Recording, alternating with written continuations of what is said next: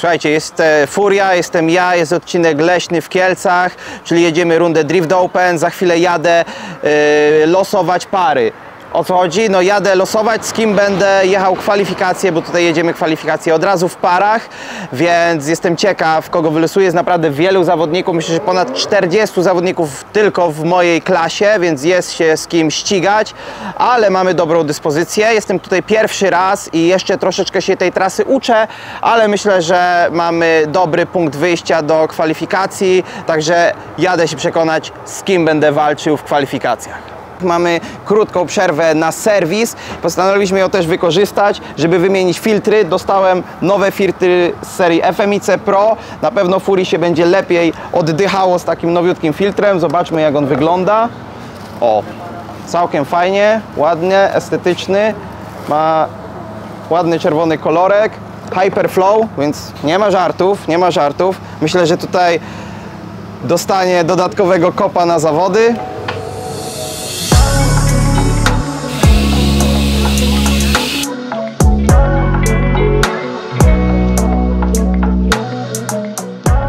Filterki siedzą, pięknie się prezentują na Furii. Dzięki FMIC ja mogę spokojnie lecieć zawody. A na starcie ustawiają się już u nas Michał Dębski i Bartosz Ostałowski.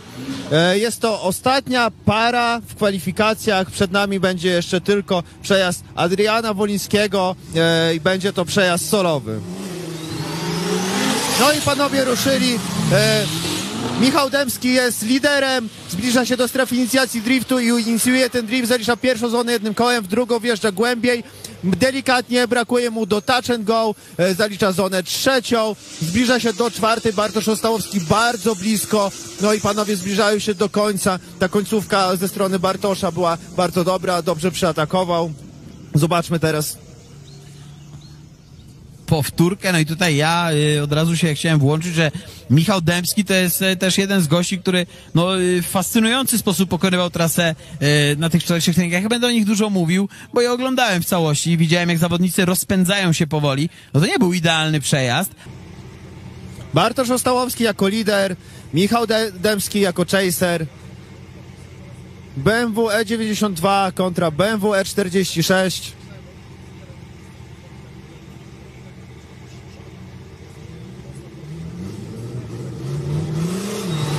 No i zawodnicy ruszyli, tak jak wspominałem wcześniej. Bartosz Ostałowski jako lider e, wjeżdża w strefę inicjacji driftu, zalicza pierwszą zonę, bardzo głęboko wypełnia zonę drugą. Nie, delikatnie nie dolatuje do touch and go, zbliża się po przekładce do zony trzeciej. Tutaj już odpala laczka i wjeżdża w zonę czwartą i zalicza również touch and go, jak e, ostatnią zonę touch and go. sędziowie mówią, że to e, właśnie jego przeciwnik Michał Dębski wchodzi do top 32 i ja szczerze powiem, że mnie to nie zaskakuje, bo to była linia uciekająca. Ta linia lidera sprawiła, że no, e, Michał nie był w stanie absolutnie nic zrobić. To była ucieczka, Bartek zrobił błąd, on nie chciał uciec, ale zgripował trochę za mocno auto i będziemy go oglądać w przejazdach pojedynczych. No ale jeszcze jest Bartek Ostałowski. Jak to się mówi, nie takie rzeczy się w PKS-ie robiło. Bartek Ostałowski już e, w takich warunkach jeździł, liczę na niego. Tutaj dołożył, on tą linię wypracuje, jest and go, wow, podrywa się dronarz tam e, z wrażenia, żeby nagrać ten przejazd Bartka Ostałowskiego. Widać to slow motion drift e, teraz i Bartek Ostałowski w piękny sposób, jednak udowadniając, że można pokonać nie tylko przeciwności losu, jak na przykład wypadek, w którym traci się e, kończyny, e, ale również tą pogodę, którą naprawdę wielu zawodników e, no, została, zostali przez nią pokonani. Moi drodzy, będziemy robić e, przerwę. Dlaczego? Ponieważ, e, tak jak wspomniałem, Starlink e, sugeruje, że musimy poczekać na to, aż ta pokrywa chmur będzie po prostu mniejsza.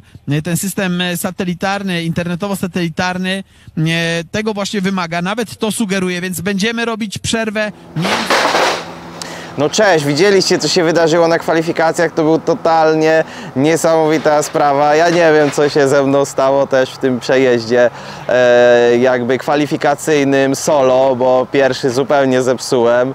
E, chciałem tak wejść agresywnie, ale trochę przesadziłem. Na szczęście poradziłem sobie w drugim przejeździe, a było naprawdę e, no niespodzianka pogodowa, bo właśnie zostały trzy ostatnie samochody, zaczęły mi spadać krople na szybę. Ja mówię, no nie, nie, został drugi przejazd kwalifikacyjny, zaczyna padać deszcz, w Kielcach jest totalne lodowisko po deszczu. No i jeszcze ten drugi, jak coś odpalę, to jedziemy do domu, więc musiałem się spiąć mega, żeby, żeby ten drugi przejazd dobrze pojechać w deszczu. No i naprawdę dobre punkty za ten drugi przejazd przywiozłem, więc, więc jest super.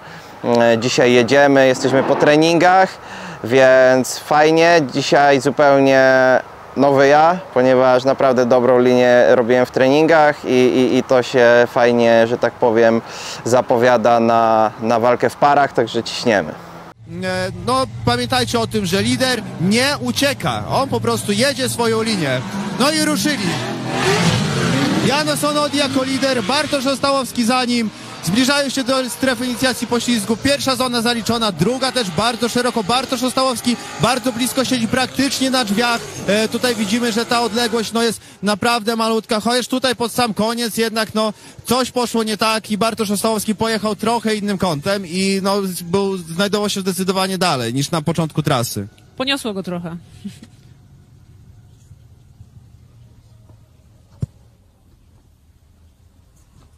Widzimy powtórkę przyjazdu, a y, w sumie chcemy zaprosić na kolejną rundę w Kietrzu, bo y, to będzie wyjątkowa runda. Także zapraszamy Was. A tutaj przed nami już zawodnicy zamienili się miejscami. Tym razem jedzie Bartosz Ostałowski jako lider. Janos Onodi za nim. Bartosz Ostałowski inicjuje pościg, zalicza pierwszą zonę, drugą bardzo głęboko. Zalicza również strefę touch and go, gdzie po przekładce wlatuje mocno na zonę numer 3, którą wypełnia. Tutaj jednym kołem zalicza zonę numer 4. Kończąc swój przejazd, zaliczając ostatnią strefę touch and go. Myślę, że spotter y, Janosa już go poinformował, że Bartek Ostołowski miał 0 punktów w poprzednim przejeździe i jechał tak zachowawczo. Zachował ten odstęp, który jest mu potrzebny do tego, żeby po prostu przejść dalej. Tak, właśnie tutaj mieliśmy informację również w międzyczasie od sędziów, że Bartosz Ostałowski za pierwszy swój przejazd otrzymał 0 punktów i tak jak mówisz, No nie poszło, nie poszło po mojej myśli. Po dwóch poprzednich rundach to spodziewałem się, że ta runda będzie wyglądać inaczej. No zepsułem po prostu jako chaser swój przejazd. Yy, fajnie goniłem gościa i chciałem jeszcze tak docisnąć na sam koniec, dokleić się do niego i troszeczkę za wcześnie się przełożyłem i nie miałem już miejsca, żeby, żeby, żeby go dokleić i, i, i musiałem się przełożyć wcześniej niż on, no totalnie ta końcóweczka zepsuta, aczkolwiek myślałem, że on już tam nam wystrzeli pod górę, będę go gonił, a on tak chwilę został jeszcze na zonie i, i, i ten ułamek sekundy zadecydował, że no niestety y, kończymy walkę y, w finałach na pierwszej parze. Natomiast y, no i tak było dobrze. Jestem zadowolony z tej linii, którą sobie wypracowałem dzisiaj. Natomiast no właśnie w drifcie najgorsze jest to, że jeden dosłownie ułamek sekundy i odpadasz i po prostu już nie ma szans poprawić, nie ma szans spróbować drugi raz. Trzeba się z tym pogodzić, także niestety ta runda bez rewelacji, jeśli chodzi o wynik.